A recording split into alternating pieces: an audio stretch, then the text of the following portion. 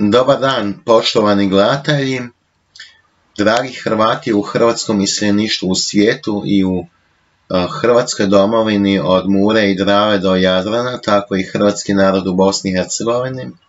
Dobrodošli, dame i gospodo i promatrači, na gledanje i slušanje teme povodom Stepinčeva o zagrebačkom nadbiskupu i kardinalu doktoru Alojzu Viktoru Stepincu, žrtvi komunizma kojeg je maršal Tito dao ubiti.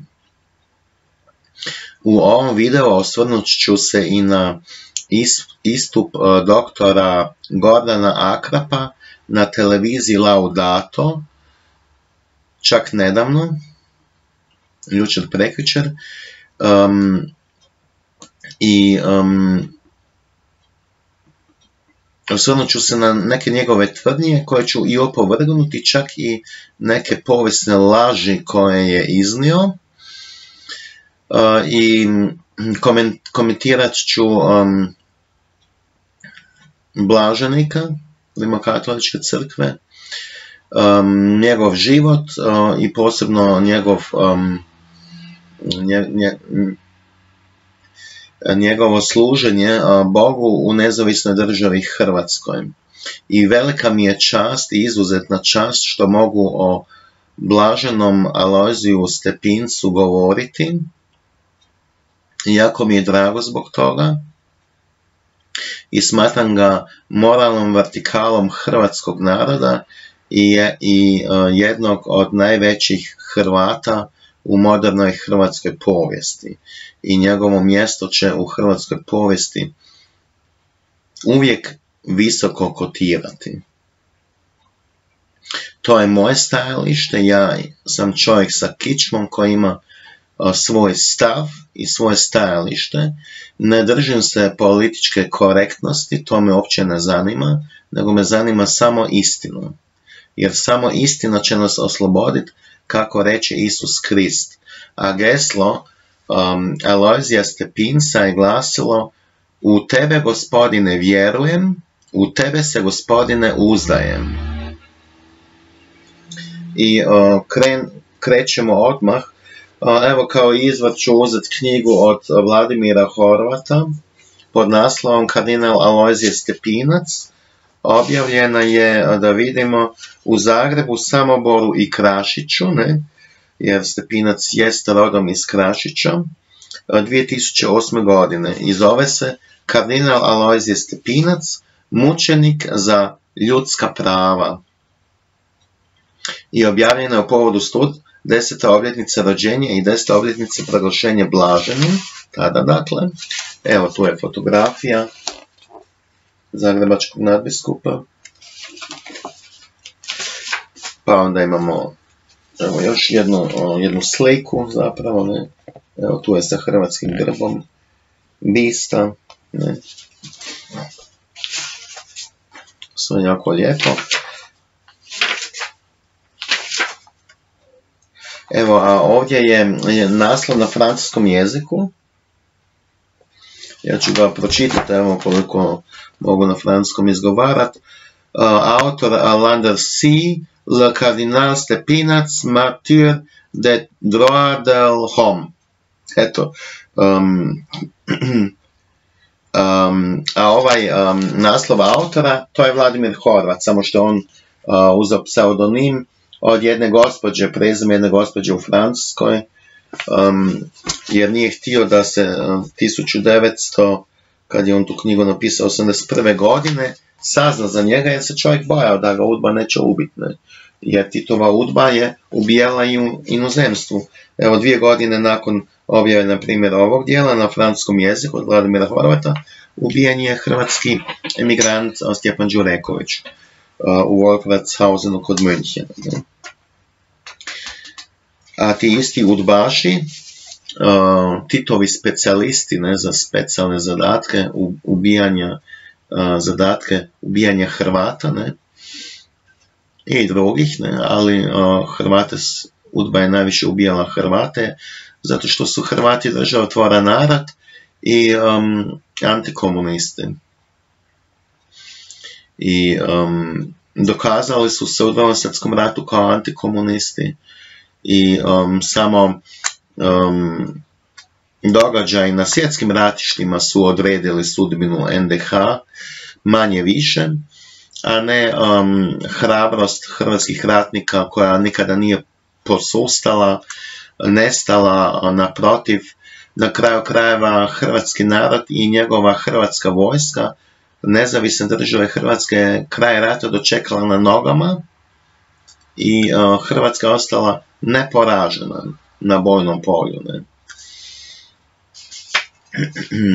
A ratnu pobjedu koju su neprijatelji hrvatskog naroda odnijeli kao partizani i titovi komunisti, smatra se piravom pobjedom.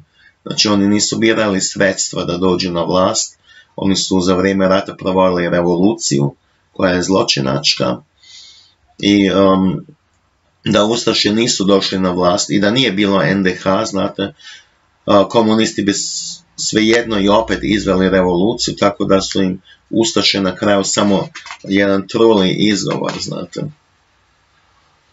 Eto, tako da uzimamo ovu knjigu kao izvor za ovaj video, s tim da ću dati jednu primjedbu, iako je autor vrlo lijepo i od srca napisao ovo dijelo, najljepše, najbolje što je mogao o, pokojnom Alojzu Stepincu, za čiju dušu se molim i molimo da ju dragi Bog primi u svoje kraljevstvo.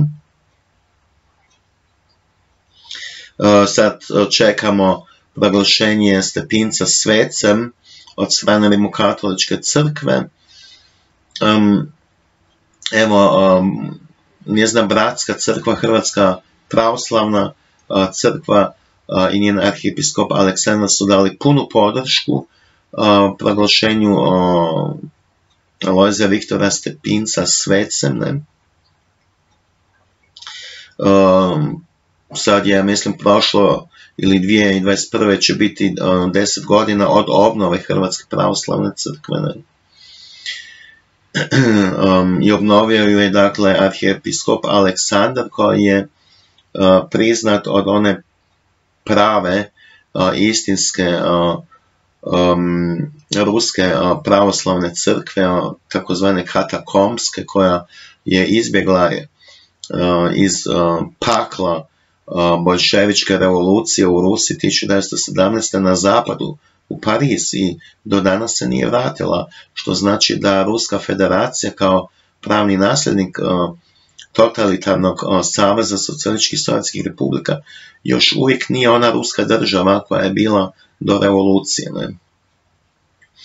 I um, Europska pravoslavna crkva dakle je priznala Hrvatsku pravoslavnu crkvu i ona je obnovljena i ona djeluje u Hrvatskoj, iako nažalost ne uz podršku Rimokatoličke crkve u Hrvata, jer naša crkva, ja sam katolik pa kažem naša crkva, nažalost urađuje sa Srpskom pravoslavnom crkvom, što je izvan svake pameti, jer SPC nije ni, legalna po zakonu, ne, nju je Račanova vlada protuzakonito tako reći, priznala me i ona protuzakonito, de facto, protuzakonito crpi velika sredstva iz hrvatskog državnog proračuna i taj novac manje više odlazi praktički istog trenutka za Beograd.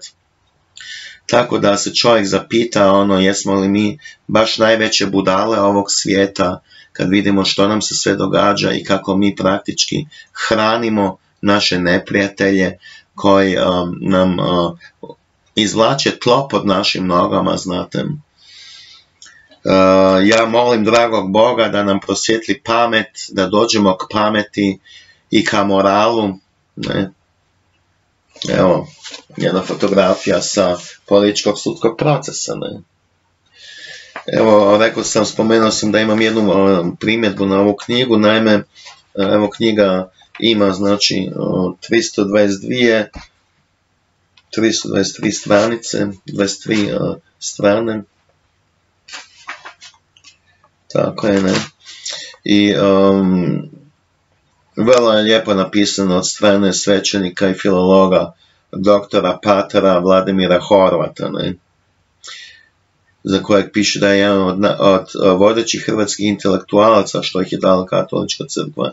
I to se vidi po knjizi, uh, jer kažu da je knjiga jako lijepo napisana, po tim mislim sve to i da je na visokom intelektualnom nivou činjenicama potkrepljeno i tako dalje.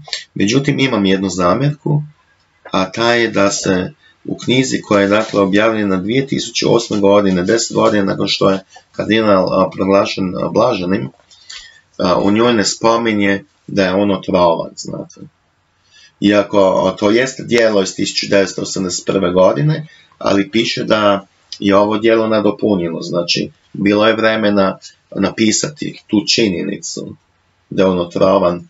I primijetio sam da vodeći predstavnici katoličke crkve cijelo vrijeme, od kad se zna da je on trovan, a, a to je ustanovilo Vatikansko povjerenstvo, ne, koje je kardinalove kosti išlo ispitivati na moguću toksičnost i ustanovljeno da je kardinal trovan i to dugi niz godina i slično je kao Napoleon Bonaparte, dakle otrovan do smrti. I njega su trovali e, i u Lepoglavi i u pritvoru u Krašiću. Ne? I nažalost čak i jedna osoba iz njegove rodbine um, koja mu je i kuhala, znate, ga je trovala, radila je za oznu ili udbu. To su sve džavolja posla, znate. Ali evo, na primjer, um, na spomeniku um, Stepincu u Krašiću, ne, ispred župnog dvora, kraj crkvene, gdje je pokojni kardinal dakle, um, provodio posljednje godine svog života u, u, u kućnom pritvoru i to je bio ono pravi pritvor, znate, kao da je u zatvoru praktički, ne. Moglo se do duše vani šetati, ali to je sve, znate. Mogao je primat goste i tako dalje, ali uvijek su bili stražari kraj njega, uz njega. Tako da, je bio um, pod vrlo strogim um, nadzorom ne, i režimom bez ikakve milosti. Ne. I na tom spomeniku, na primjer, ne piše da je on žrtva komunizma. Ne. Dakle, um, šteta što se takve stvari izbjegavaju spomenuti, jer ispred uh, tog župnog dvora uh, i u žutni dvor uh, gdje je kardinal gore boravio, ne, to je pretvoreno i u muzej, može se otići pogledati, naravno dolaze, čujte, ono, turisti, ne, vjernici, u hodočašće, i stotine tisuća i stotine tisuća ljudi, znate, i, i bit će milijuni, ne, i šteta što ti ljudi ne mogu na spomeniku pročitati da je on žrtva komunizma, znate, to je, to je takav propust, evo, pa i u promičbi, znate, ono, da, da se rasvjetlje njegovo lik i djelo, da ga se u, učini poznatim u cijelom ovom svijetu, jer može biti uzor, znate. Eto, to je ono što sam primijetio. Um, ići ću odmah in media stres, znači um, prvo na ovu znači, emisiju na Laudato TV uh, i nastup uh, doktora Gordana Akrapa. I primijetio sam da je njegova tendencija bila da se uh, stepinca, znači sad govorimo ja ne govorim sad o, o činjenicama, o, o stepincu, nego o tome kako danas, um, hajde reći ću, katolička crkva nastoje stepinca pozicionirati, ne, što opet onda ne odgovara povijesnoj istini. Dakle, sad, nažalost, crkveni oci prave istu pogrešku kako su pravili komunisti, koji su ga htjeli ocrniti i oklevetali su ga, a Stepinac im je davno poručio da im to ništa ne vrijedi jer će njihove sve klevete pasti u vodu, istina će izaći na svjetlo dana. A sad se želi reći, eto, kao liberalna demokracija najbolji sustav u povijesti čovječanstva, na što je laž. I sad se po uzoru na rezolucije Europskog parlamenta Europske unije, ne, koja osuđuje komunizam i fašizam, ne, želi na taj isti način pozicionirati i reći da je Stepinac eto to bio, ne. A čujte, Stepinac nije to bio, ne? Kakav liberalni demokrat ili, ili takve stvari gluposti, nego on je bio sluga Isusa Krista. I što se tiče, samo da to spomenem kao jedan intermeco još, njegovog vjerskog dijela, moje mišljenje da je on bio izvrstan klerik i izvrstan znači um, čovjek koji je ljudima prenosio vjeru u Isusa Krista i um, vrlo visoko moralan čovjek je bio i tražio je čudoređe i od vjernika i sve ovo što se danas, na primjer, događa u Republici Hrvatskoj sa cijelim našim društvom, a to je sve nemoralno, Alozije Stepinac bi to um, ovdje, ono što se kaže, užarenim mačem proganjao, znate. On je tada, 30 godina kad je postao ko adjutor, pomoćnik, dakle, Zagrebačkog nadbiskupa, žestoko govorio, znate, na propovjedima o moralu, ne, o moralu u obiteljima, pozivao i mladiće i djevojke i njihove roditelje pogotovo da se držamo morala jer su tada već propadali, znate, jer je marksizam dopirao iz velikih gradova u Europi i mame mlade ljude, ono, Znate, ono, maloljetnici, ono, su već tada pušili, na primjer, ne, ili počeli psovat, znate, kao to je neka fora i tako dalje, to je sve dolazilo iz marksizma da se uništava vjera i vjernike na kraju krava i obitelji, ne. I Stepinac je to žestoko osuđivao, um, govorio je da djevojke nemaju šta raditi na večer, znate, u, u, ne znam, u ponoć vani, ne razumijete, u onom smislu, znači. I, um, i bilo je, njemu bi bilo nepojmljivo, znate da je tada bio uh, zakon o pravu žene na pobačaj, pa on bi rekao da su svi onda ludi, šta je vama, pa svi ste onda od ne.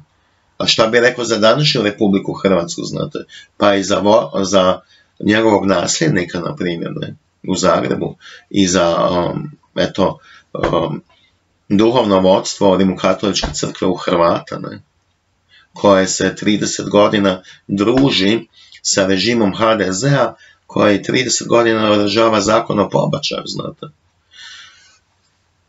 Današnji biskupi i nadbiskupi i tako dalje, znate, kardinali, nemaju niti približno onu onu kritičku distancu prema vlastima, da se ono, što je inače Isus Krist rekao, caru carevo, a Bogu Božje, niti približno, znate, današnji biskupi, kardinali, nadbiskupi se mogu sramiti, oni stepincu nisu niti do koljena, ne? jer oni se premijerima HDZ-a i SDP-a, manje više HDZ-a zapravo uvlačio u zadnicu, oprostite na izrazu, ali to je tako. A Stepinac se nije uvlačio, znate, niti kralju Aleksandru, niti Vlatku Mačeku, niti Andi Pavliću, niti Vladimiru Bakariću, niti um, sovjetskom agentu Titu, znate. Nikome se nije uvlačio i što se tiče, kažem, uh, vjerskog dijela um, njegovog biskupovanja, ne, njegove službe, je bio besprijekoran. I ta, takve ljude u našoj crkvi trebamo, znate. I zato on može biti uzor i on je moralna čudoredna vertikala hrvatskog naroda, ali i kao čovjek koji je morao se baviti politikom i um, izlaziti na kraj u politici. Um, također spada u moralnu vertikalu. Um, reći ću ovako načelno, Alojzije Stepinac je imao to pravo, znate, da brani židove, ako je on to htio, da brani njihova ljudska prava od, od progona koji je diktirala Hitlerova Njemačka, pa tako i u NDH i tako i u svim zemljama koje su bili saveznici, e, i u Finskoj, i u Bugarskoj, Rumunskoj, Mađarskoj, u Italiji, Španjolskoj i tako dalje. Su židovi došli pod progon, ne samo u Hrvatskoj. I u Srbiji, znate, koja je imala svoju vlastu, Srbi su imali svoju vladu i svoju državu, ne, isto progon bio židova. Dakle, hoću reći, on kao um, vjerski poglavar je imao pravo to raditi i po crkvenim zapovjedima, odnosno po, po Božim zapovjedima, jer se kaže, jer Jezus Krist rekao i kaže, ljubi Boga najviše na svijetu i svoju braću i sestre i svoje bližnje kao i sebe samog. Ne. Eto, ti židovi koji su bili nepokršteni, ne, talmudski židovi ili židovi koji su samo stali zahtjev priznavali, ne, eto, oni su došli pod progon ne, u uh, Hitlerovoj Njemačkoj, zašto postoji i razlog s tim da ću odmah reći jednu stvar, a to, to bi povjesničari trebali malo razjasniti ljudima, a ne samo govoriti, znate, ono, treći rajh je ovakav ili onakav, ne, pa držimo se istine, barem ono, mislim, neću reći, držimo se minimalne istine, jednostavno, ajmo se držati istine, znate.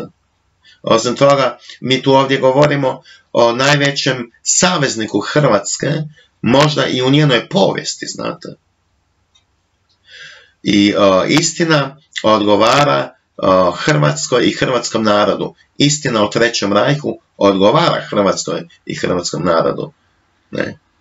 Ali to, na primjer, netko kao doktor Akrap o tome uopće ne vodi računa, on se toga vjerojatno uopće nije niti sjetio, niti će se sjetiti i vjerojatno neće se niti promijeniti, znate, iako nada uvijek postoji, ali doći u emisiju i onda, znate, um, odcrniti Hitlera u Njemačku, hrvatskog saveznika, i ne samo to, nego pričati o nezavisnoj državi Hrvatskoj pospadno um, kao Endehazija, taj izraz Endehazija, znate.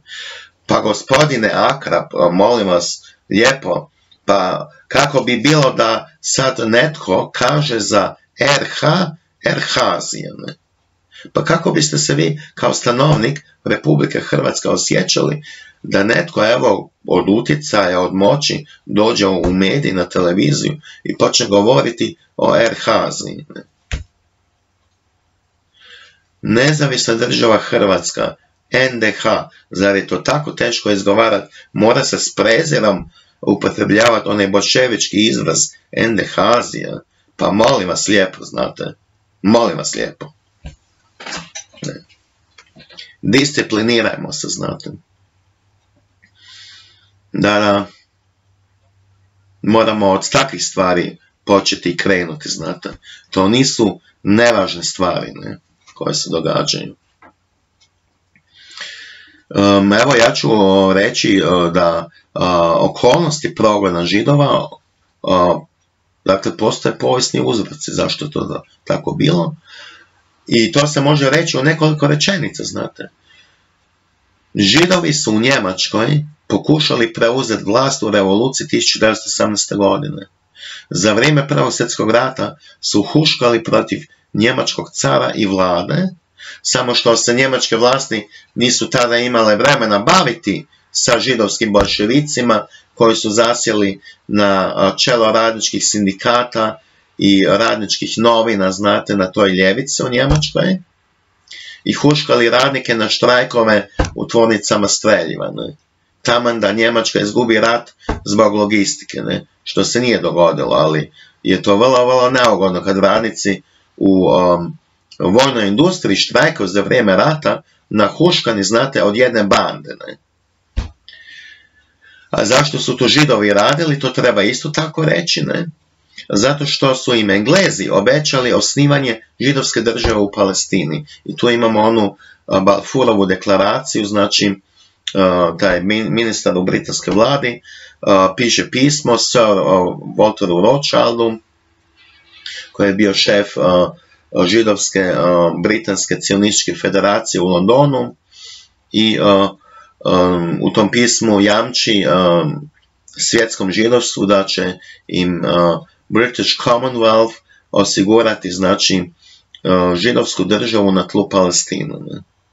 Ali ne na tlu cijele Palestine, nego podijeljenu. Znači Englezi su rekli da će podijeliti Palestinu. Ne? I to je točno tako onda ušlo poslije u rezoluciju Ujedinjenih naroda prilikom osnivanja države Izrael od 14. svibnja 1948. godine. Ne? Da se Palestina podijela na pola i um, stoga je dužnost Republike Hrvatske, to ću sad usput reći, da prizna pa, palestincima njihovu nezavisnu državu Palestinu. Jer je to odredba rezolucije UN-a. A ne samo jednostrano priznat državu Izrael. Ne? U Zagrebu mora sjediti i veleposlanik nezavisne države Palestine. I to što prije, znate. I um, židovske bolševičke vođe, uh, kao na primjer Roza Luksemburg ili Karl Liebknecht su revoluciju u Njemačkoj digli i htjeli doći na vlast, znate. Nisu u konačnici došli na vlast jer ih je njemačka dragovoljačka vojska um, je skršila njihovu revoluciju. Bila je preko 2000 mrtvih ljudi u Berlinu i po drugim njemačkim gradovima, najmanje, znate.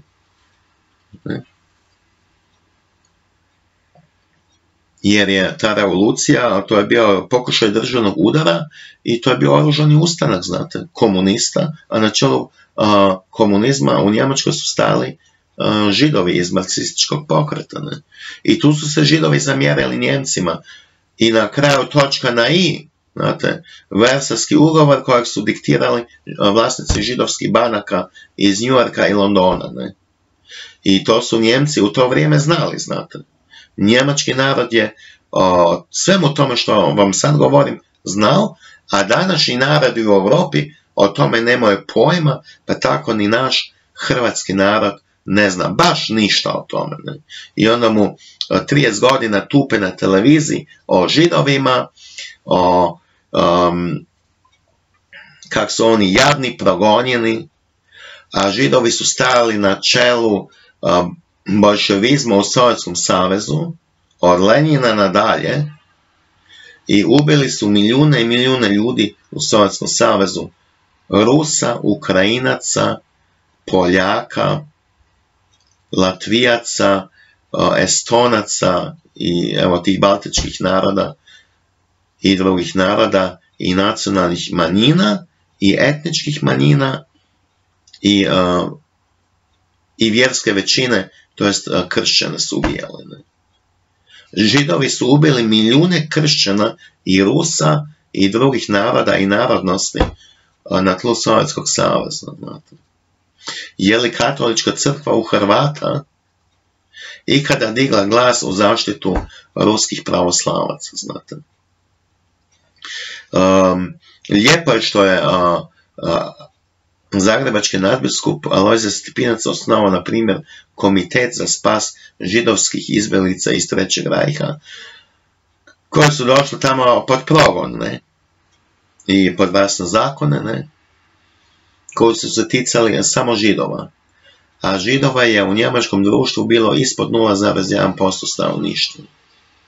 I u NDH je židova bilo ispod 1%, znate ako je NDH imala nešto preko 6 milijuna stavnika, 10% bi bilo 600 tisuća, 1% 60 tisuća, a na tlu NDH je živjelo 39 tisuća židova, znači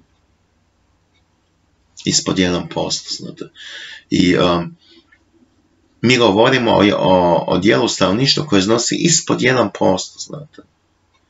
A isto tako u Njemačkoj još manji postotak. Znate jer je Njemačka imala preko 80 milijuna stavnika. Ne? A, ali kažem vam, je li postoja komitet za spas Rusa i Ukrajinaca i pravoslavnih kršćana iz Sovjetskog saveza, znate? Je li postoja takav komitet spasa u Zagrebu? Pa nisu bitni samo židovi na svijetu i u povijesti, znate bitni smo i mi kršćani, valjda. Hoću reći um, da mnogi u Hrvatskoj jednostavno um, sve ono što se događalo u Sovjetskom savezu, paralelno, znate, i prije Hitlerove Njemačke i paralelno s Hitlerovom Njemačkom. Ne? Pa takvi zločina kao u Sovjetskom savezu nad kršćanima, nad Rusima, Ukrajincima i drugim narodima i, i manjinama u povijesti čovječanstva nije bilo, znate. Zločini nad židovima u Hitlerovoj Njemačkoj su gotovo pa nula, znate. Mi tu govorimo o postotku stanovništva od ispod 1%, u Njemačkoj je to možda 0,1% stanovništva. Jer vi znate što to uopće znači? To je uh, gotovo nula, znate. A toliko pažnje se, toliko pažnje, znate.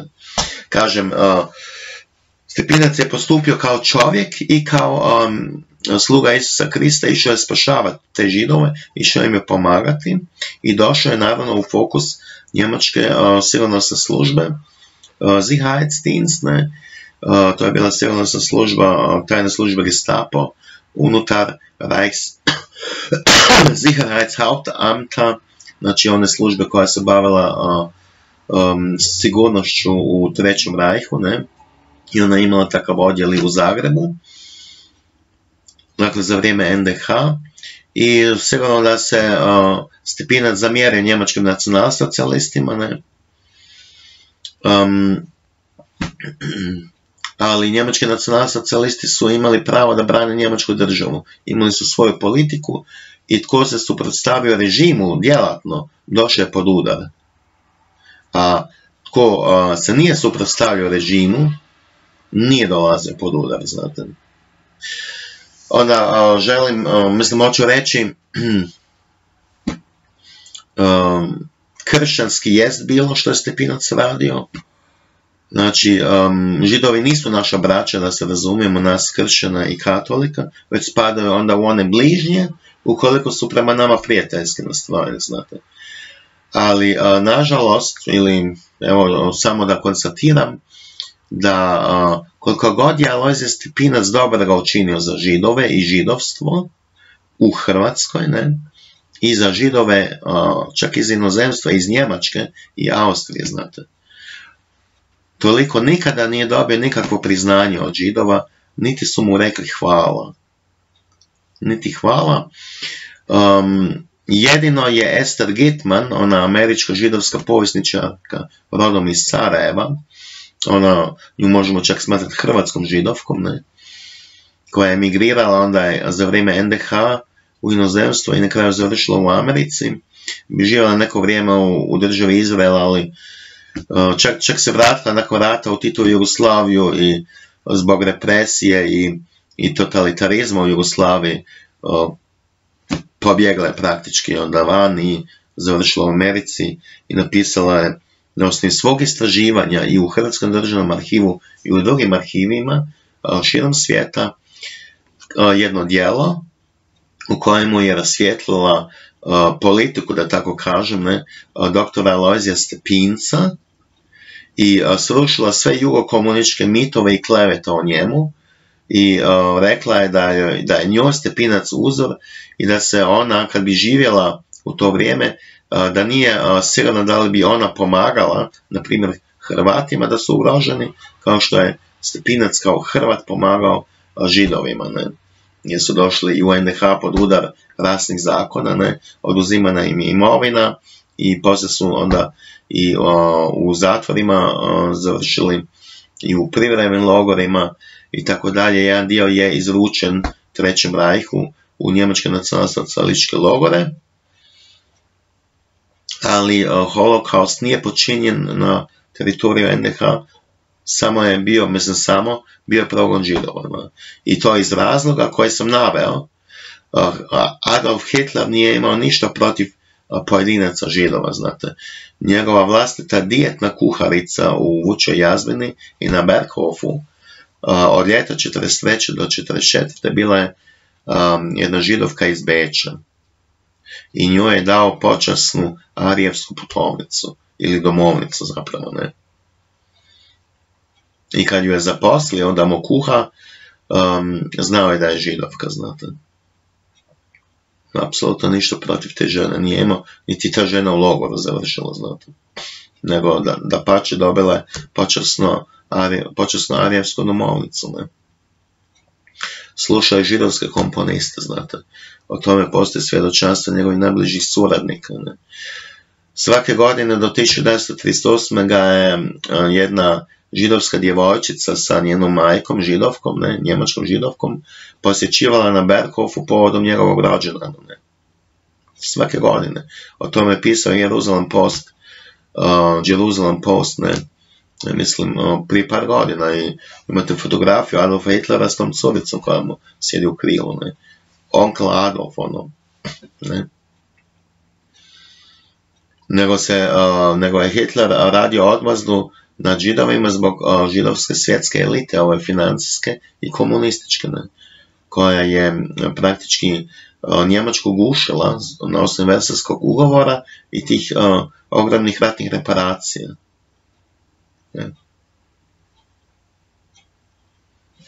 Hitler je jednoj trećini židova u Njemačkoj od 33. do 39. omogućio migraciju, odnosno emigraciju i mogli su ići kod god su htjeli. Mnogi su iselili u London i u Ameriku, ne?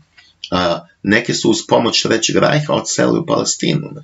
Postoje čak ugovor između židovskih organizacija ili židovskih općina u Trećem rajhu sa Hitlerovom vladom o preseljenju židova u Palestinu, kogod je htio, um, mogla ići, uh, jedino je morao staviti svoju imovinu uh, na osnovi putnih troškova. A, tu se događala onda, može se reći, pljačkat svih tih židova, njihove imovine, ali uh, njemačke nacionalsocijaliste su to smatrali kao kontribuciju za pljačku Njemačka od strane židovskih banaka nakon Prvog svjetskog rata. Hitler je koristio židovsko talmudsko ono um, politiku oko za oko, zub za zub. Znači, tukao ih je s njihovim vlastitim oružjem. I to se mora u povijesti primiti na znanje i ne može za to preskakati i um, te neke uzroke, znate, prešutjeti jer onda se krivotvori povijest. Povijest se krivotvori sa prešućivanjem činjenica, znate. I onda čovjek dobije jednu potpuno drugčiju sliku, ne i možete onda e, stvarno nevino pretvoriti u, u najvećeg zločinca na svijetu ako izostavite samo neke bitne činjenice.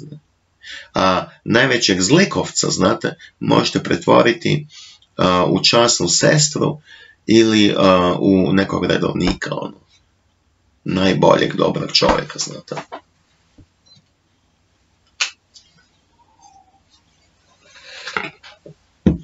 Uh, komunisti su Stepinca potpuno klevetali da je on bio suradnik okupatora i izdanik. to su toliko demonske optužbe, znate, i klevete, da se tu mora demantirati, na primjer, i opovrgnuti i reći da Njemci nisu bili okupatori i točka. Oni su bili saveznici nezavisne države Hrvatske.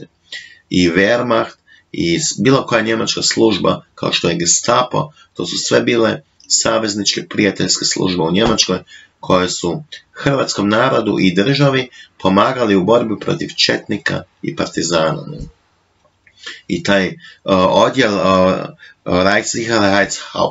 znate, i tako dalje, pa nije se bavio samo židovima, nego i protupartizanskim aktivnostima i antikomunističkom djelatnošću.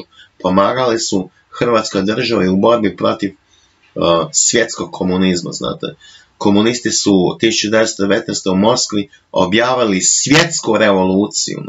Pa nije to mala stvar. Ne? Evo tako da se te neke stvari treba reći onda, a što doktor Akrap naravno da nije spomenuo. Ne? Čak je vrlo zločesto rekao nešto, to stvarno sad moram reagirati, zato što je počeo pričati one pričice ala Dušan Bilanđić, znate, nekakve dogodovštine, netko je nešto čuo, pa je tako netko čuo kak, je, kak su Ante Pavlić i njegova supruga, koja je inače polužidovka bila, ne, da su navodno nakon zasjedanja onog obnovljenog Hrvatskog sabora u Zagrebu 1942. godine i nakon Stipinčeva govora, da su navodno onda se povukli u svoje odaje i rekli da Stepinca treba ubiti. Ma dajte, doktore Akrap, znate, to su takve nebuloze i gluposti da stvarno tome ne treba ono biti mjesta u medijskom prostoru, pa, pa kakve su to sramotne izjave, znate. Ne.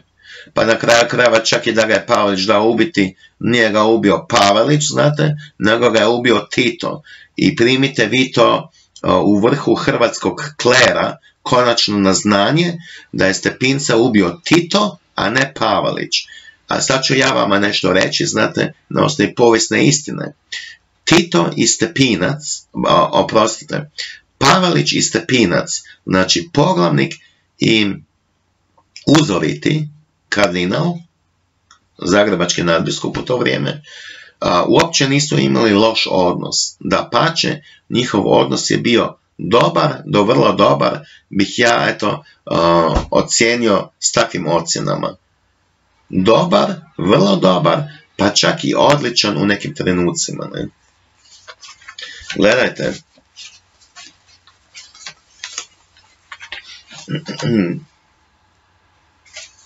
Gledajte sad ovako. Šta je izjavio um, Stepinac na suđenju, ne? A taj govor je bio cenzuriran, znate. Na svom suđenju u Zagrebu, šta je rekao komunistima u lice? Rekao im je, Hrvatski se narod plebiscitarno izjasnio za Hrvatsku državu i ja bih bio ništarija kad ne bih osjetio bilo hrvatskog naroda koji je bio rob u bivšoj Jugoslaviji. Znate, tu se Stepinac nedvajbeno izjasnio za nezavisnu državu Hrvatsku. Nedvajbeno. I to nije nikakav niti grijeh, niti kazneno djelo, znate. Jer osnivanje NDH nije kazneno djelo. To je uh, pravo hrvatskog naroda koje proističe iz hrvatskog državnog prava, pa onda nakon drugog svjetskog rata, pa imamo još od prvog svjetskog rata Wilsonovu tu uh, deklaraciju o pravu naroda na, samoopredjeljenje. Ne? Znači to je međunarodno pravo hrvatskog naroda na samoopredjeljenje, znate. Prilikom audijencije um, zagrebačkog nadbiskupa uzoritog uh, uh, Alozija Viktora Stepinca kod uh, poglavnika NDH Ante Pavlića u Banskim dvorima početkom veljače 1945. godine, znači povodom novogodišnjeg prijema, kao što i Republika Hrvatska, njena vlada i predsjednik imaju novogodišnji prijem i božićni domjenak po, za diplomatski kor i za mjerske predsjednike tako dalje. Ne? Je Stepinac izjavio ovako, poglavniče, želim da Hrvatska ostane i dalje član međunarodne zajednice. Znači, Zagrebački nadbiskup Alojzije Stepinac se bez ikakve sumnje zalagao za Hrvatsku državu i za njen opstanak. Dakle, za opstanak NDH. I um, nikakav loš odnos on sa Pavlićem nije imao, Um, evo, ja se koristim kao izvodom i ovom knjigom od Iva Omrčanina, Hrvatska 1945. On je bio znači službenik u um, Ministarstvu vanjskih poslova NDH i na koncu i ministar, a inače vrlo učen čovjek, jedan jako veliki hrvatski intelektualac koji je studirao u Rimu i um, on je došao u Rim kad je Stepinac završio svoj studij u Rimu kad se vraćao na velike i visoke službe u Zagreb, je ovaj mladić, Ivo Mrčanin, tek tada bio došao u Rim i sreo se sa Stepincem. I kad je postao tjedan dana nakon uspostave NDH od 10. travnja 1961. šef ocijeka u Ministarstvu vanjskih poslova NDH pod ministrom Mladanom Lorkovićem, dakle šef ocijeka za romanske zemlje i Vatikan, imao je praktički za vrijeme rata neprestani pristup zagrebačkom nadbiskupu. Iz prve ruke ovaj čovjek, znate, najbolji svjedok povijesti. I on je kod Stepinca bio, dakle, često i razgovarao je ne samo s njim, i to prijateljski i najsrdačnije, nego i s njegovim suradnicima. I poznaje Stepinčevu politiku u dušu. I nije bilo nikakvog spora između Ustaša i Zagrebačkog nadbiskupa, što je rečeno u, emisiji dakle, na Laudatu televiziji, kad je dr. Akrap izjavio da su Ustaše najviše zamjerale Stepincu, što Vatikan nije priznao NDH. To uopće nije istina, znate. Poglavnik Pavalić i Ustaše to Stepincu uopće nisu zamjerali, jer su znali istinu. Znali su da je tu Stepinac nemoćan, a Stepinac je htio da Vatikan prizna nezavisnu državu Hrvatsku, znate. Ali poglavnik Pavlić i Ustašu su znali da je Stepinac tu nemoćan, uh, jer um, nije, um, kao što je dr. Akrap rekao, da su hrvatski biskupi, da hrvatski biskupi nisu formalno uh, predali zahtjev Vatikanu za priznanjem uh, Hrvatske države NDH. To je istina što se tiče činjeničnog stanja, ali taj poziv je, bi bio formalan da je da su iz Vatikana rekli mi priznajemo Hrvatsku, onda bi rekli hrvatskim biskupima dajte nam sad formalno pošaljite zahtjev, a mi ćemo mu udovoljiti da udovoljimo diplomatskoj formi. Ne? Čak je i Papa Pio XII bio sklon, ali Papa je bio okružen, kako Ivo Mrčan govori, znate, demonima. Nećete vjerovati, znate demonima u onom smislu ljudima, dakle službenicima Vatikana pod utjecajem snage Antikrista, znate. A to uopće nije nikakva tajna, znate. Ovaj, da je Vatikan bio na udaru i sveti otac Padre Pio, ne, je 1960. rekao da je nečastivi sjeo najviše crkve i da će u najskorije vrijeme početi voliti. I to vrijeme je izgleda danas a tu, da nečastivi vodi ovu katoličku crkvu našu, znate. Na čelu s papom Franjom, ne. I um, Ivo Mrčanin je točno spomenuo čak i čovjek u Vatikanu koji je zaslužan, pod navodnicima, da za sprečavanje priznanje nezavisne države Hrvatske od strane Vatikana. Ako sad nađu samo malo.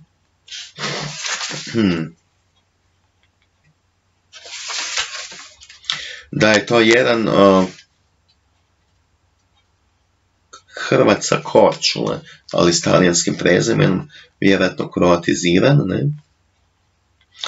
I da je to bio čak i jedan nemoralni čovjek koji je imao sinove i ženu, a bio je inače svećenik, znate. Da je imao vilu jednu tamo kuću u Rimu gdje je držao svoje sinove i njihovu majku s kojom je imao spolni odnos, ne? i to kao rimokatolički svećenik. I taj je spriječio, imao je vrlo veliki utjecaj da Vatikan nije priznao nezavisno državu Hrvatsku, znate već je onda iz Vatikana rečeno da će priznanje uslijediti nakon rata kad se potpišu mirovni ugovori između nezavisne države Hrvatske i Sjedinjenih američkih država i um, Ujedinjenog kraljstva, dakle, ne. Hm. Eto, tako je to bilo, znate. I oni su stvarno onda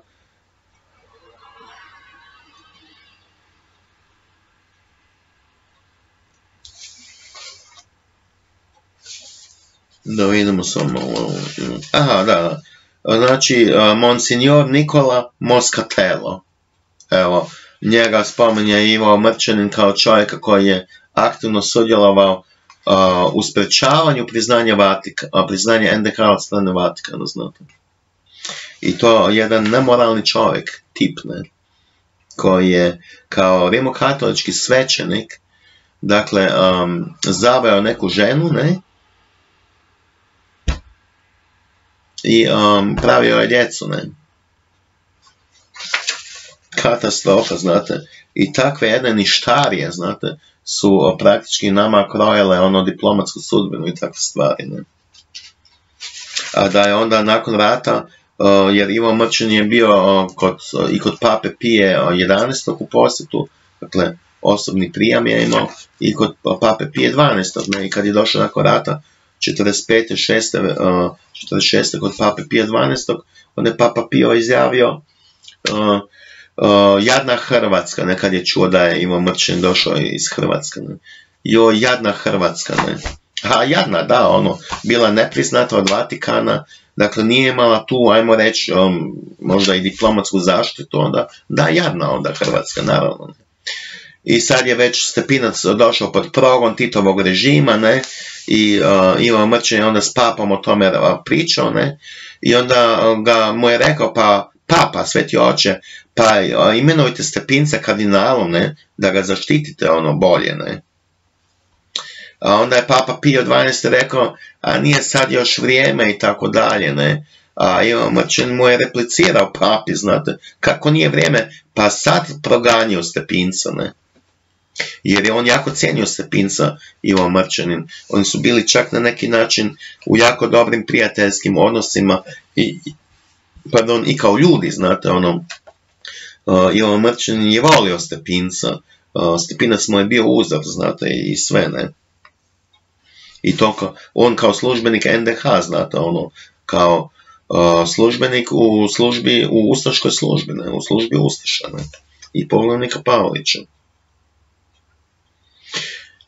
I onda mu je uh, Ivo Mrčan rekao, papi, ali um, kako, uh, pa vaš prethodnik je za vrijeme kancelara Bismarka, kad je proganjao katoličku crkvu, ne, uh, i bacio ovog nadbiskupa Poljskog u Krakovu u tamnicu, papa ga je odmah imenovao kardinalom da mu na taj način pomogne. Ne? I to je papa zapamtio i kad je Stepinac bio u zatvoru, izabrao je najpogodniji trenutak koji je imao ili mislio da je i imenovao ga je kardinalom i zaštitio ga. I to na ideju od Ive Mrčanina, znate. Koje, koja je najviše utjecala na tu odluku, znate. E, da. Eto. Onda je on isto posvjedočio, znate, da su, da, je, da su saveznici zapravo htjeli, a to doktor Akrap preskače, znate, to uopće nije spomenuo, da su saveznici, dakle i Englezi i Amerikanci, a predvođeni premijerom Winstonom Churchillom, htjeli um, zagrebačkog nadbiskupa Stepinca proglasiti ratnim zločincem još za vrijeme rata, ne? i onda mu je ministar u jugoslavenskoj um, emigrantskoj vladi u Londonu, koji je tamo sjedio zajedno sa četnicima, što je sramota, ali, ali na neki način uh, su jako korisne informacije onda dolazile i tako dalje, pa evo dolaze i dan danas kroz povijest. Ne? Dakle, dr. Juraj Krnjević, ne? ministar uh, u emigrantskoj vladi, to je četničkoj, jugoslavenskoj u Londonu, je to javio Alojziju Stepincu i rekao me uzoriti, oni vas žele proglasiti ratnim zločincem, djelujte brzo, znate, jer ako se to dogodi, gotova zapečačena vam je sudbina, ako NDH izgubi rat i ako Hitler izgubi rat, gotovi ste, znate, streljat će vas ono, ne. I onda je to bio povod, znate, da je Alojzija Stepinac održao onaj oštar govor protiv njemačkog nacionalsocializma, protiv rasizma i tako dalje. I to je kod saveznika dobro bilo onda primljeno. I oni su onda odustali da ga proglase ratnim zločincem, a inače su Srbi u Londonu, znači ona, oni četnici, ne, iz te jugoslavenske vlade, oni su pravili pritisak na Churchilla jer su o, Englezima i njemu slali dezinformacije i klevetali su Stepinca, ne, klevetali su oni Pavelića, znate, i, Tito je klevetao Pavelića da je pobio 500 tisuća Srba, što je totalna laž, znate, ono. Ali to su efikasne klevete u, u ratnoj propagandi, znate, tako da... Evo, tako da su to, na primjer, neki uzroci zašto je Stepinac ošto napao Pavelićev režim i Hitlerov režim, znate. Ali je to onda bilo u skladu i s njegovim svjetonazvom i uvjerenjem da je taj progon židova kriv, ne? jer je on stvarno, može se reći, bio jedan pravi zaštitnik židova, tih 50 i nešto židovskih staraca iz staračkog doma Lavoslav Švac u Zagrebu dao premjestiti na crkveno imanje u Brezovici, tu kraj Zagreba, ne? Mislim tu kraj Zagreba, ja tako kažem, zato što ja živim kraj Zagreba i ja sam iz Zagreba, ne? Um, I htio je spasiti ovog zagrebačkog rabina, ne? Freibergera, Solomona Freibergera, jak se tako zvao, Freiberger je mislim prezime bilo, ali ovaj nije htio, on je rekao, veli, ja idem sa svojim narodom i tako da je otišao onda um, u njemačke logore, u jedno od njemačkih logora. Ne? A Stepinac mu je konkretno nudio osobnu zaštitu i sve, znate, ono. I gledajte, taj odnos između Stepinca i Palića nije bio odnos kao između psa i mačke. To je sad moje mišljenje, znate, nego ja kažem sljedeće. Oni su imali jedan čak dobro uhodani odnos i jednu komunikaciju, jer Pavlić nije mogao izvjeći progon židova, znate. To pitajte finskog isto maršala, znate, Mannerheima ili čelnika Bugarske, Rumunske, Mađarske, niko nije mogao izvjeći progon židova, htio, ne htio, znate.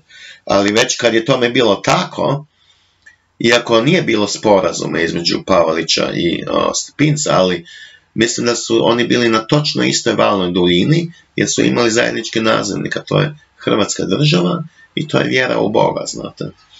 Pavlić je dao zabraniti pso, psovanje Boga, na primjer, u NDH nije bilo pobačaja, znate.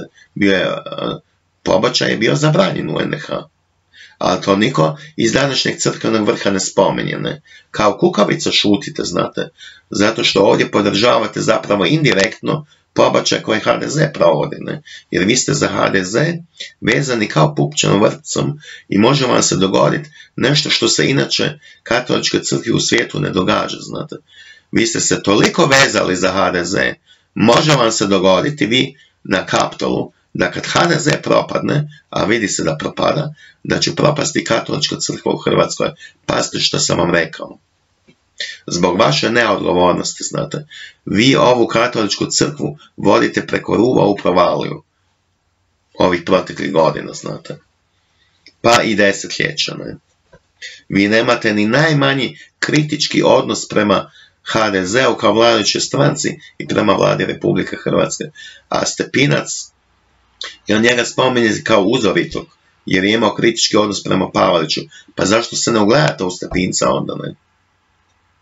Znate, svi ćemo jednog dana doći pred Boga, pa tako i vi, biskupi i zagrebačke nadeskupe i kardinale. Ne? Znači, to je bio jedan prešutni dogovor, zato je, dakle, Pavleć mora donijeti rasne zakone, ne? Možda ih nije donio iz uvjerenja, znate. Makar kažem, znate, ono, židovi imaju rasne zakone, znate. Pogledajte današnju državu Izrael. Ne? Pogledajte diskriminaciju e, etiopskih crnaca koji su židovi i koji su emigrirali u državu Izrael. Diskriminirani su, ne smiju dati krv, znate, za pacijente, za bolnice, samo zato što su crnci. A, šef boksačke reprezentacije NDH je bio američki crnac, afroamerikanac, znate. Pa vi meni sad objasnite neke stvari u vezi rasizma i, tih rasnih zakona u Zagrebu, ne?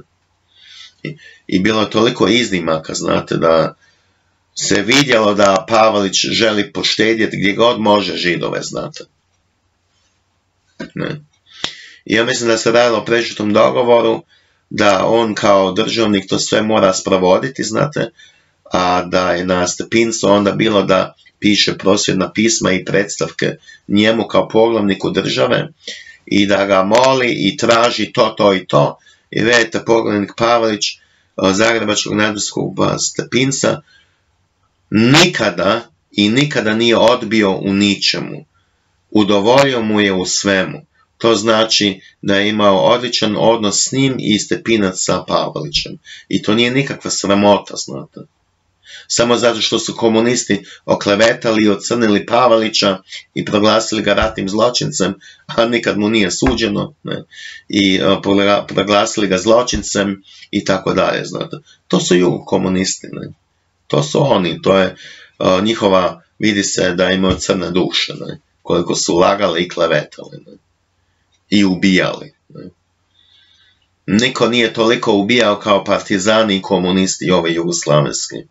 I najgrozniji zločini na svijetu su se događali na području Slovenije i Hrvatske zajedno sa Bosnom i Hercegovinom, pa sve tamo do Srbije, znate. Najgori zločini u povijesti, a počinili su ih jugoslavenski komunisti. Ove zločine u hudoj jami koje su počinili, znate. Takvih primjera ima jako, jako rijetkih u tisuću godišnje povijesti čovječanstva, znate. To govori da su partizani komunisti bili apsolutno uh, pod utjecajem demonskih sila i snaga antikrista i da su partizani bili džavolja vojska, znate. Ne. Evo, zove se... Ne, dobro, nije, nije bitno. Um, ne? A doktor Akrap je govorio kao kako su u Trećem rajhu proganjali katoličku crkvu i katolike. Ne, to demantiram, to je laž, znate. Tvrdi tako nešto, to je povijesna laž. E, Treći rajh i Vatikan su imali konkordat potpisan, to je bio konkordat i taj konkordat e, vrijedi čak i danas, znači konkordati iz Trećeg rajha potpisuju i dan danas oni koji postaju biskupi u Njemačkoj, samo što ne izgovaraju te riječi iz uh, tog dokumenta, iz tog ugovora, ne, praktički ne, gdje, se, gdje je dogovoreno između Hitlerove vlade i pape da um, prilikom imenovanja biskupi moraju uh, izraziti lojalnost njemačkoj državi, znači Trećem rajku.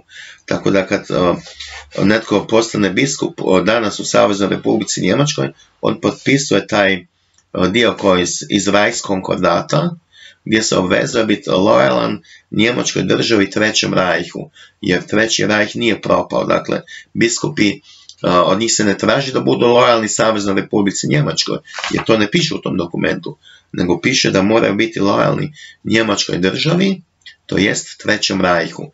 Jer već sam objašnjavao imenica rajh u Njemačkoj, u njemačkom smislu znači država, a ne imperij. Ne? Nije bio nekakav progon, osim što su pojedini katolici završavali u logorima, um, zato što su ili su bili ubijeni, ne? zato što su se protivili Hitlerovoj politici, um, ustali su se protiv politike kao pobunjenici na neki način, znate. A to je, čujte, uh, Hitlerova vlada branila svoju vlast, svoj poredak. Ne? Um, jedino što je katolička, dakle katolička crkva praktički um, nije uh, ništa posebno uh, se bunila protiv progona židova, znate, jer oni su znali tamo da to nisu njihova braća jednostavno.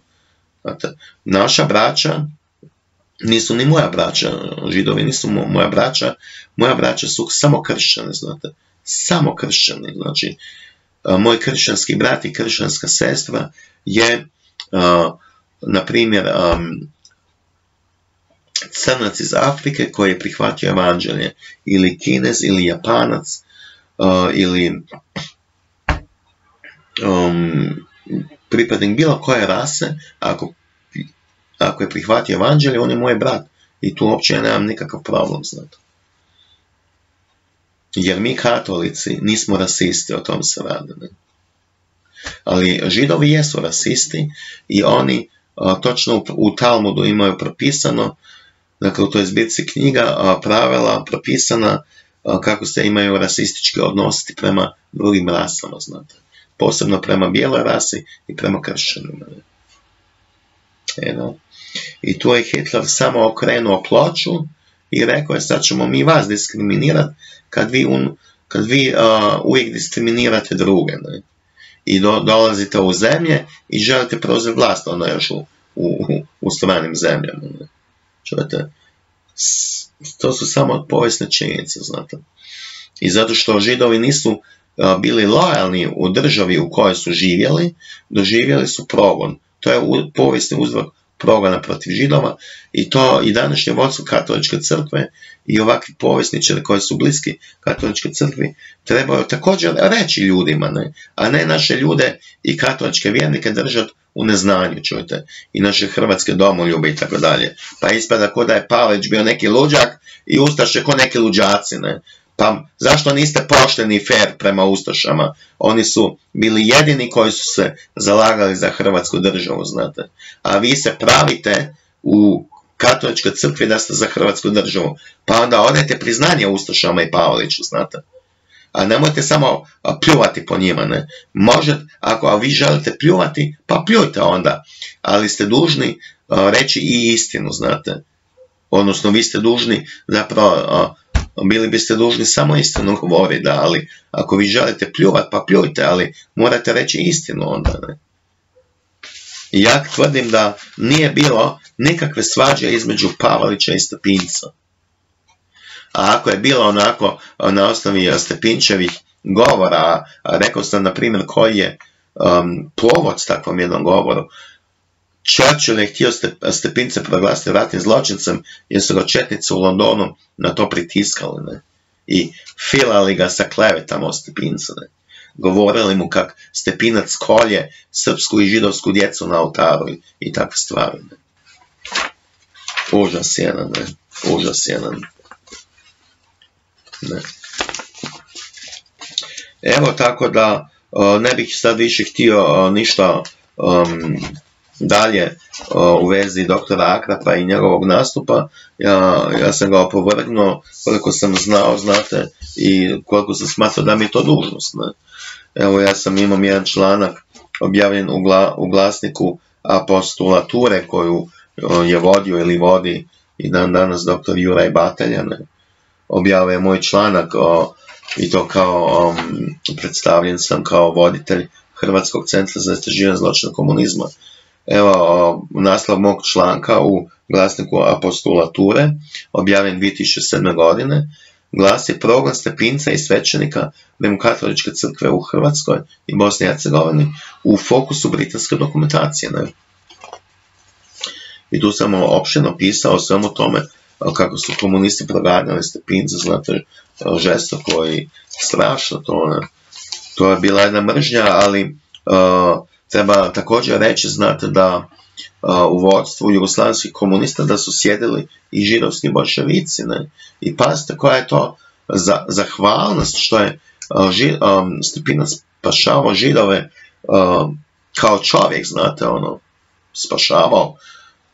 Ljudi bili u nevolji, evo, to je istina, da, oni su došli u nepovoljan položaj. Ne? Nula zahvalnost, znate, otac danas današnjeg predsjednika židovske općine Zagreb direktno sudjelovao u progonu Zagrebačkog nadbiskupa Stepinca. Čovječe Boži, pa to nije normalno, znate. Ne. Dok su tamo u Beogradu ljubili ruke tamo srpskom, srpskim tim čelnicima Srpske pravoslavne crkve, ne i crvene armije i tak dalje, ne.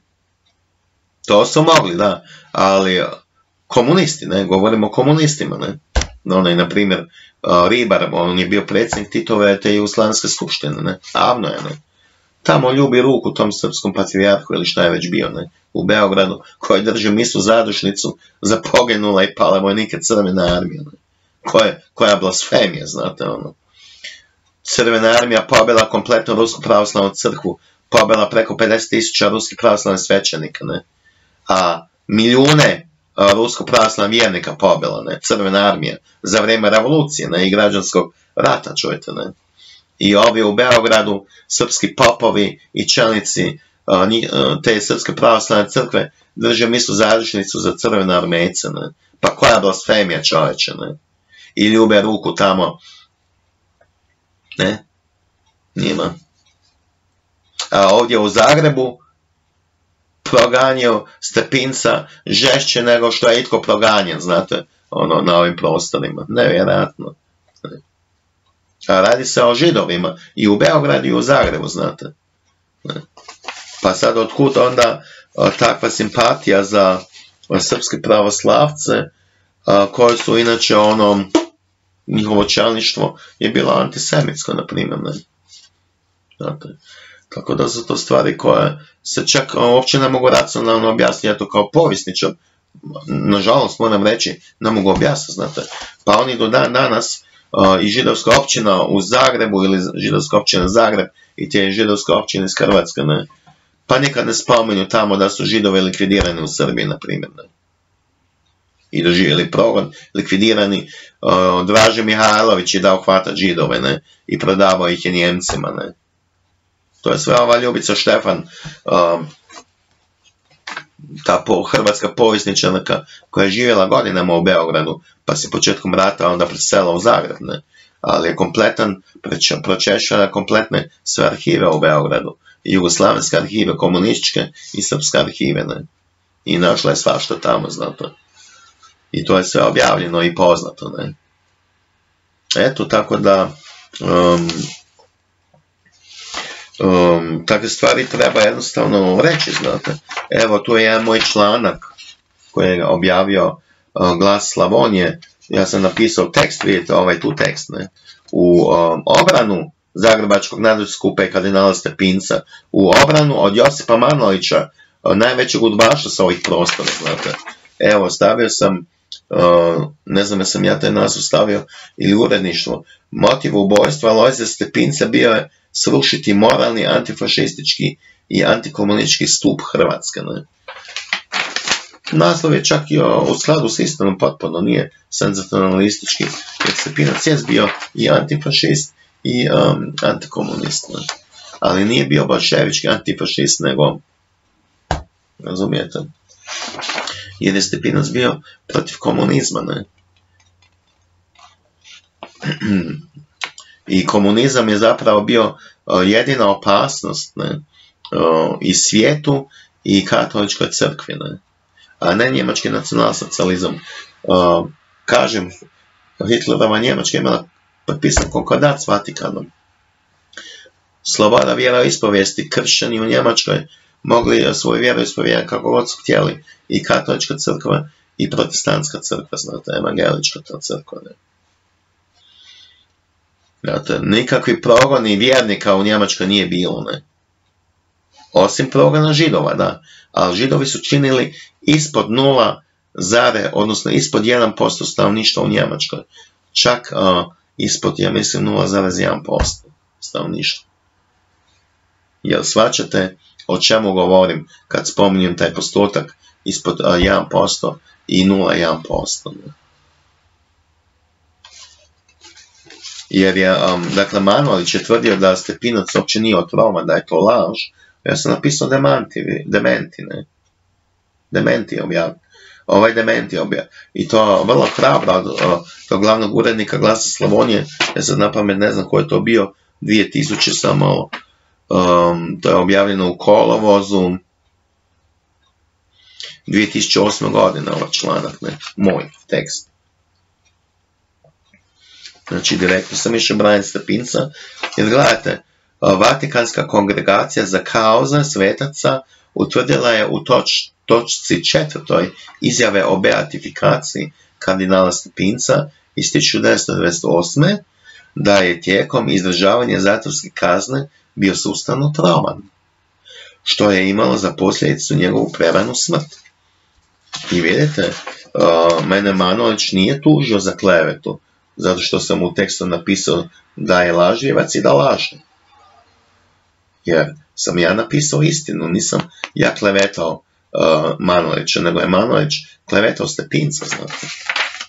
I lagao je hrvatsku javnost da Stepinac nije trovan. Apsolutno je trovan, znate, Tito da je, Tito je Stepinca dao likvidirati, ne. A naša kompletna politička elita i HDZ-ovska i SDP-ovska hvali Tita kao antifašista u Drugom ratu. Ne?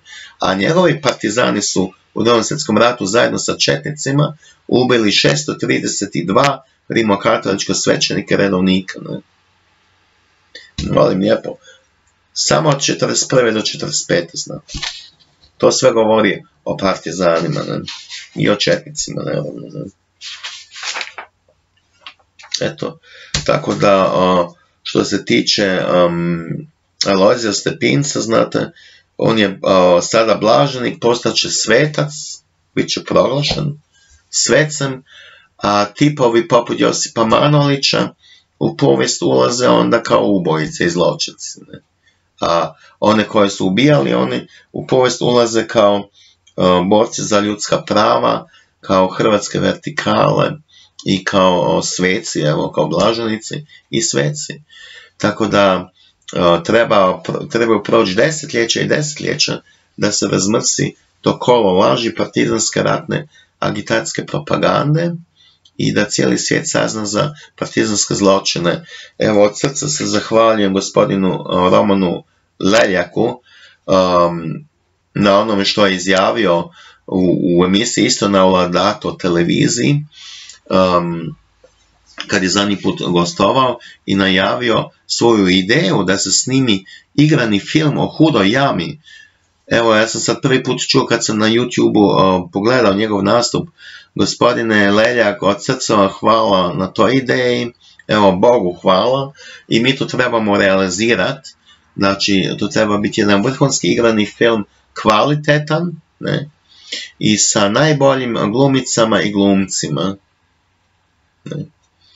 ili jednostavno sa jako dobrim glumcima kojih mi u Hrvatskoj imamo, ali ako treba i u svijetu angažirati, ja vjerujem da će Hrvatskoj ništa dati novac, pa i mi Hrvati u domovini, znate. Zašto bi samo Hrvati iz ništa davali, znate. Smo mi naše novčanike, imaju naši ljudi, nisu svi siromašni, znate. Ima se, ne. Ima se, ne da se kupimo taj novac i da to realiziramo, da se suprotstavimo ovaj užasnoj propagandi koja dolazi i dan danas iz Beograda i iz Zagreba, jer u Zagrebu sjedi peta kolona, znate.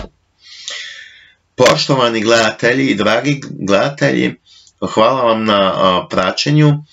Ukoliko vam se video sviđa, molim vas podijelite ga, da što više ljudi sazna za istinu koja je iznijeta u ovom videu i postanite i pretplatnik ili subscriber, pritisnite ovo zvono dole ispod videa i um, saznate onda svaki puta kad um, ja snimim novi video, da onda dobijete obavijesne.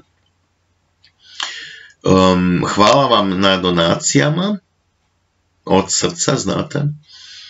I vidimo se onda ako Bog da u sljedećem videu, a ovaj video je nastao na osnovi ideje jednog hrvatskog domoljuba od kojeg sam jučer dobio um, e-mail poruku, ili tako nekako, ne?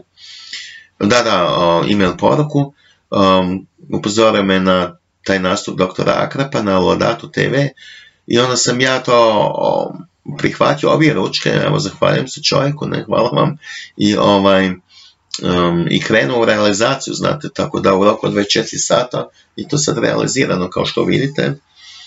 Um, ono što eto, uvijek uh, kažem, jedan za sve, svi za jednog. Ne? To je bilo ono moje geslo iz predsjedničke, kandidat, iz predsjedničke kampanje. Ne? Jedan za sve, svi za jednoga. Pozdravljam vas sa Bogi Hrvati i doviđenja.